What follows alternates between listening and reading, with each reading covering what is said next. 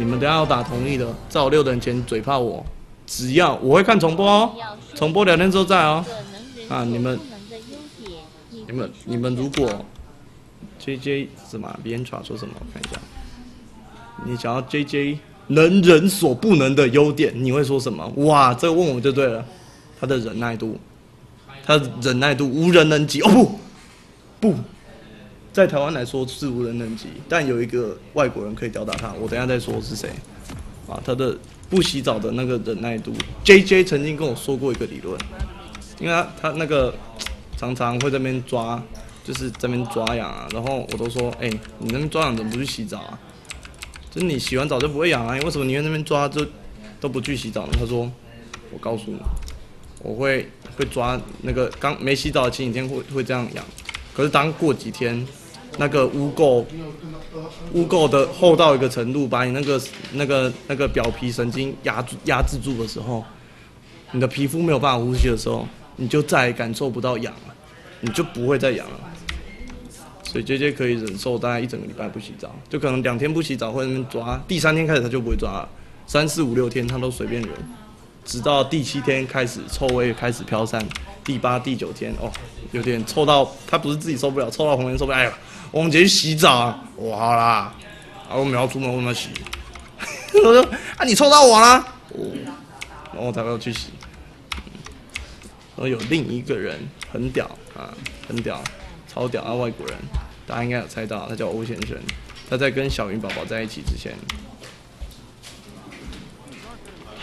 真的强，我只能说真的强。我本来在 TBA 宿舍跟姐姐生活了好多年，生活两年。我以为杰杰已经无人能打，我以为他已经 unstoppable 了，没想到我教 HK 遇到这个 o l 他妈更屌。他这个人不不止不洗澡，他他妈还不洗衣服。你知道他衣服是怎样吗？他就是衣服脏了，他就直接丢掉，不洗。我问他为什么，他说因为我不会洗衣服啊。啊，他他家好像富二代，然后家里是营造业的吧，他就是不会，他从小没有洗过一次衣服，所以他不知道衣服怎么洗，所以他就。他就是洗澡啊，他洗澡就顺便把那个衣服给丢丢到垃圾桶去。哇操，真的屌！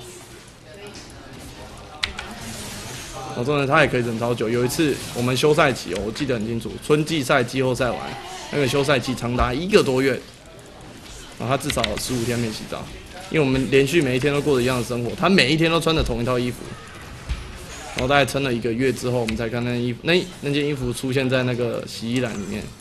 啊对啊，只更正一下，他衣服不是丢丢的时候，他丢洗衣篮。可是那是他一辈子都不会洗的洗衣篮，所以他到他搬家的时候，他的洗衣篮哇叠得满满的，好几套衣服那都没洗过。然后因为以前没有打打扫的阿姨，没有人会帮他洗，没有人会帮他洗，所以他那边堆成山。然后没有衣服就去买新的，没衣服就买新的。他不是，他宁愿去买新的，他都不愿意动手洗个衣服。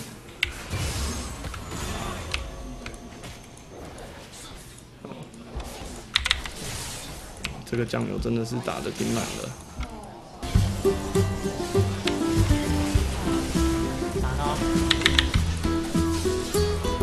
我还有大，还有大。哎，叉子在上面。